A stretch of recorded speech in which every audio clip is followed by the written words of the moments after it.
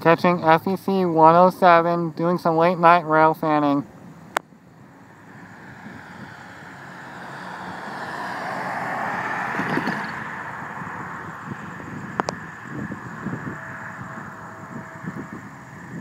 With the light, but this time at the railroad crossing, so hopefully it'll work better than in my backyard. Let's find out. There he comes.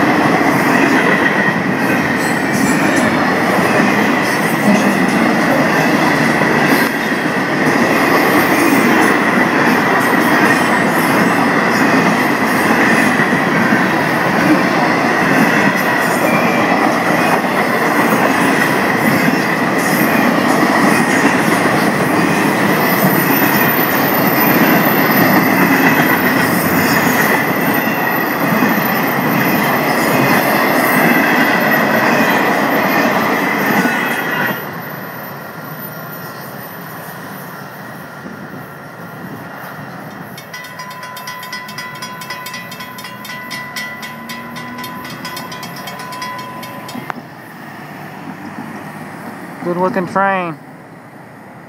The, the light seemed to work pretty well at the crossing.